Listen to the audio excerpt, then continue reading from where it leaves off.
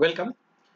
ఈ వీడియోలో శ్రీకృష్ణదేవరాయలు కొలువులో ఉన్న అష్టదిగ్గజాలు వాళ్ళు రాసిన పుస్తకాలను నేర్చుకుందాం. సో చాలా తక్కువ సమయంలో ఎప్పటికీ గుర్తుండేలా ఈ టెక్నిక్స్ మీకు ఉపయోగపడతాయి. మరి మీకు స్టార్టింగ్ క్లాస్లో చెప్పాను.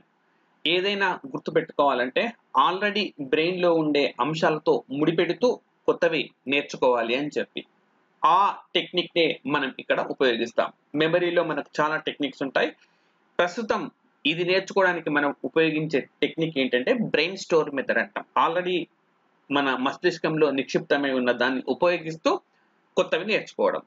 సో ఇది పెద్దగా మీకు ఇబ్బందికరంగా ఏమి ఉండదు చాలా ఈజీగా ఉంటుంది. సాధారణంగా వ్యక్తుల దినచర్య ఉదయం బ్రేక్ఫాస్ట్ ఉంటుంది ఆ తర్వాత మధ్యాహ్నం పూట లంచ్ ఈవినింగ్ స్నాక్స్ ఆ తర్వాత టీ ఆర్ కాఫీ అండ్ మన పడుకునే ముందు సప్పర్ అంటాం జనరల్గా దాన్ని డిన్నర్ అనుకోవచ్చు.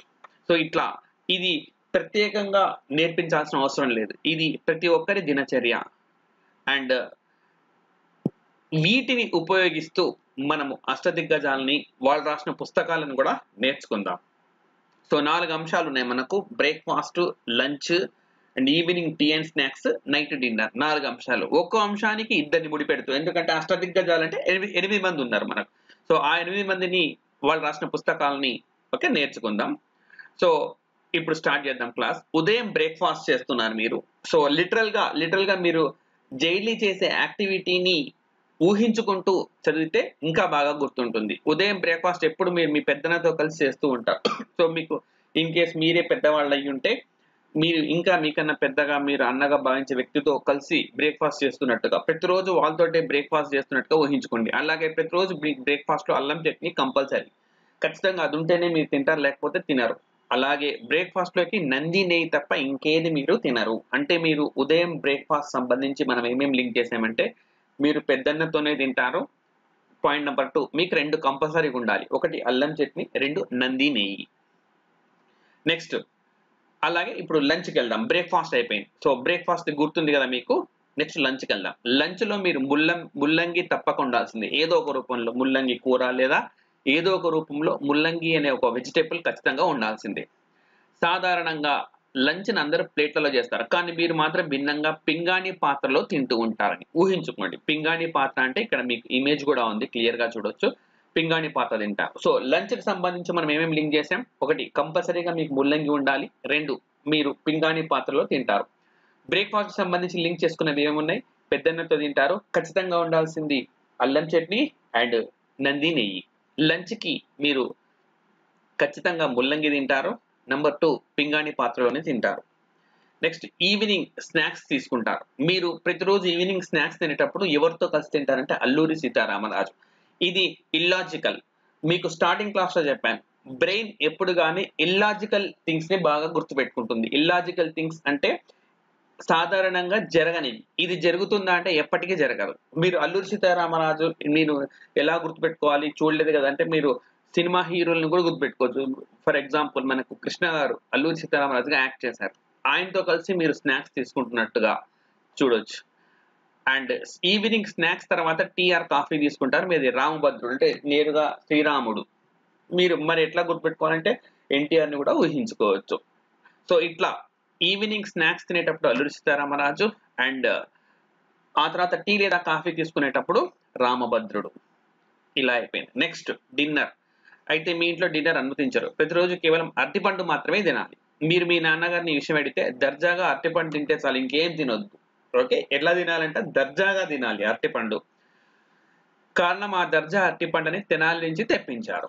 సో ఇప్పుడు ఈ చిన్న కథ మనకు మార్నింగ్ బ్రేక్ఫాస్ట్ మధ్యాహ్నం lunch tea and snacks evening dinner. నాలుగు అంశాలు ముడిపెట్టేశాం.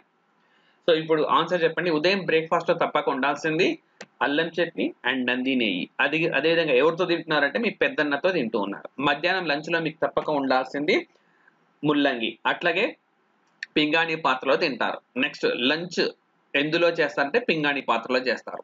అట్లాగే సాయంత్రం స్నాక్స్ ఎవరితో తింటారు? స్నాక్స్ అంటే అల్లూరి సీతారామరాజు. కృష్ణ గారిని గుర్తుపెట్టుకోండి. సాయంత్రం టీ లేదా కాఫీ ఎవరితో తీసుకుంటారు రామభద్రుడు. నా సాయంత్రం టీ లేదా కాఫీ ఎవరు తీసుకుంటారు. రాత్రి వేళ ఏం తీసుకుంటారంటే అరటిపండు సో అలా తింటే దర్జాగా ఉంటుందని చెప్తారు. మీ నాన్నగారు అరటిపళ్ళు ఎందుకు తీసుకోమంటారంటే దర్జాగా ఉంటుంది. సో ఆ అరటిపళ్ళని ఎక్కడి నుంచి తెస్తారంటే తెనాలి నుంచి. సో ఇప్పుడు మనం మొత్తం కథ అర్థమైపోయింది. పాయింట్స్ ఉన్నాయి కాబట్టి డీకోడ్ చేద్దాం. అల్లంతో తింటారు. అల్లం చట్నీ కంపల్సరీ. అల్లసాని పెద్ద ఎవరితో తింటారు? పెద్దన్న. కాబట్టి మొదటి అష్టదిగ్గజం అల్లసాని పెద్దన్న. ఆ తర్వాత నంది నెయ్యి తీసుకుంటారని చెప్పాను. నంది తిమ్మన్న. అల్లసాని సో ఉదయం బ్రేక్ఫాస్ట్ సంబంధించి మనం ఇద్దరిని గుర్తుపెట్టుకుంటాం. పెట్టుకుంటాం పెద్దన్నతో తింటారు అల్లం చట్నీ. అల్లసాని పెద్దన్న. నంది నెయ్యి కంపల్సరీ. నంది తిమ్మన్న. నెక్స్ట్ మనకు మధ్యాహ్నం లంచ్ కంపల్సరీ ఉండాల్సింది ముల్లంగి. ముల్లంగి మల్లన్న. సో కొంచెం ఇది ఫన్నీగా ఉంటుంది. అట్లా నేర్చుకుంటేనే బాగా గుర్తుంటుంది. ఎంతసేపు అయినా చదవాలన్న ఉత్సాహం కూడా కలుగుతూ ఉంటుంది. మల్లన్న. మాదయ్య గారి మల్లన్న. నెక్స్ట్ పింగాణి పాత్ర తింటారు. పింగాణి పింగాణి పింగళి సూరన్న. నెక్స్ట్ సాయంత్రం రామరాజుతో మనం స్నాక్స్ తీసుకుంటాం. రామరాజు. రామరాజు భూషణుడు. నెక్స్ట్ రామభద్రుడు. అయ్యల రాజు రామభద్రుడు. సో ఆ తర్వాత నైట్ డిన్నర్కి మనం దర్జాగా అరటి దూర్జటి దర్జా ప్లస్ అరటి దూర్జటి అట్టా చేసుకోవచ్చు. ఎక్కడి నుంచి తెచ్చారంటే తెనాలి. తెనాలి అంటే తెనాలి రామకృష్ణుడు. సాధారణంగా ఇది గుర్తుంటుంది అందరికి తెనాలి రామకృష్ణుడు. వికటవిగా వికట కవిగా అతను చాలా పేరు ప్రఖ్యాతులు సంపాదించినవాడు కాబట్టి. సో ఇట్లా మొదటి స్టెప్లో మనం అష్టదిగ్గజాలు నేర్చుకున్నాం. ఇప్పుడు ఒక్కసారి కళ్ళు మూసుకొని ఈజీగా చెప్పేసేయండి. రైట్ అల్లసాని పెద్దన్న నంది తిమ్మన్న. మధ్యాహ్నం లంచ్కి వచ్చేసరికి ముల్లంగి మల్లన్న. నెక్స్ట్ పింగాణి పాత్రలు తినటువంటి పింగాణి పాత్రలు తినడం కంటే Pingali Suranna. Evening snacks Ramaraju. ఆ తర్వాత టీ అండ్ కాఫీ రామభద్రుడు. ఆ తర్వాత డిన్నర్కు ముందు అరటి పండు దర్జా ప్లస్ అరటి దూర్జటి. నెక్స్ట్ తెనాలి రామకృష్ణుడు. ఇప్పుడు స్టెప్ టూలో మనం అష్టదిగ్గజాలు రాసిన పుస్తకాలు చదువుకుందాం. ఉదయం అల్లంతో మీరు బ్రేక్ఫాస్ట్ చేసేప్పుడు తప్పకుండా హరికథ వింటూ ఉంటారు. సో ఊహించండి. సో మీరు బ్రేక్ఫాస్ట్ చేస్తూ ఉన్నారు. పక్కన మీ పెద్దన్న అల్లం చట్నీ నంది నెయ్యి తప్పక ఉంటుంది అక్కడ. అదే అదే సమయంలో టీవీలో హరికథ వస్తూ ఉంటుంది. హరికథ వింటూ ఉంటారు. దాన్ని మీ పెద్దన్నే చెప్తూ ఉంటారు. మీ పెద్దన్నే హరికథ చెప్తూ ఉంటాడు ఎప్పుడు. ఆ టీవీలో కూడా ఆయనే కనిపిస్తున్నట్టుగా ఊహించండి. అలాగే ఒక రోజు మీరు నంది నెయ్యి తీసుకుంటూ ఉన్నారు. అదే బ్రేక్ఫాస్ట్ చేస్తూ. అప్పుడు మీ ఇంట్లో ఈ పారిజాత చెట్టును ఎవరో అపహరించారు. వెంటనే మీరు నందిని తింటూ పరిగెత్తి వెళ్ళి అతన్ని పట్టుకున్నారు. సో ఇది ఒక సింపుల్ స్టోరీ. నెక్స్ట్ మీరు రోజు మధ్యాహ్నం రోజు ముల్లంగినే తింటూ ఉంటారు. ఇది తెలిసిందే. ఇది చాలా మంచిదంటూ మీకు ఎవరు చెప్పారంటే సినిమా హీరో రాజశేఖర్. సో ఒకసారి ఊహించండి అతను చెప్తూ ఉన్నట్టుగా. సో దీంతో మరింత ఎక్కువ కూడా ప్రారంభించారు. నెక్స్ట్ మీరు తినే పింగాణి పాత్రపై రోజు మీరు కొత్త కళాత్మక చిత్రాలు వేస్తారు. రోజు మీరు పింగాణి పాత్రలో మధ్యాహ్నం లంచ్ చేస్తారు కదా దానిపైన ఎప్పుడంటే ప్రతిరోజు ఉదయం నిద్ర లేవగానే మొట్టమొదలు మీరు ఆ పింగాణి పాత్రపై కొన్ని కళాత్మక చిత్రాలు వేస్తూ ఉంటారు. సో ఇది సింపుల్ స్టోరీ. సో బ్రేక్ఫాస్ట్ తింటూ ఏం వింటారో హరికథ. నందిని తీసుకుండగా అనుకోకుండా ఏం జరిగింది అంటే మీ ఇంట్లో ఉండే పారిజాతాన్ని ఎవరో అపహరించారు. ముల్లంగి తినడం మంచిదని చెప్పింది ఎవరు? రాజశేఖర్. పింగాణి పాత్రపై ప్రతిరోజు ఉదయం ఏం చేస్తారంటే ఒక చిత్రాన్ని గీస్తూ ఉంటారన్న ఓకే రోజు కొత్త కళాత్మక చిత్రాలు వేస్తారు. సో ఓకే ఇవి మన బుక్స్ ఇంకా అష్టదిగ్గజాలు రాసిన ఇతర బుక్స్ ఉన్నాయి నెక్స్ట్ క్లాస్లో నేర్చుకుందాం. ముందైతే ఇవి పూర్తి చేద్దాం. డీకోడ్ చేస్తే మీరు పొద్దునే హరికథ వింటూ ఉంటారు మీ పెద్దన్న చెప్తారు. సో పెద్దన్న మనకు ఆల్రెడీ అల్లసాని పెద్దన్నగా కోడ్ అయింది కాబట్టి అల్లసాని పెద్దన రాసిన పుస్తకం హరికథా సారాంశం. రైట్? అట్లాగే మీరు నెయ్యి వేసుకుంటూ ఉండగా నంది నెయ్యి. అంటే మనకు నంది అంటే తెలిసింది కదా నంది తిమ్మన అని సో అప్పుడు పారిజాతం అపహరించారు. ఆయన రాసిన పుస్తకం పారిజాత అపహరణం. మూడో మీకు ముల్లంగి. ఓకే తినమని చెప్పింది రాజశేఖర్. సో ఆ పుస్తకం పేరు రాజశేఖర చరితం. సో మల్లన్న ముల్లంగి. మాదయ్య గారి మల్లన్న రాసిన పుస్తకం రాజశేఖర చరితం. అలాగే మనకు ప్రతిరోజు మీరు పింగాణి పాత్ర పైన వేసేది ఒక కళ. కళ ఉదయం వేస్తారు ఉదయం. కళ పూర్ణోదయం. సో పింగళి సూరన్న రాసిన పుస్తకం కళ పూర్ణోదయం.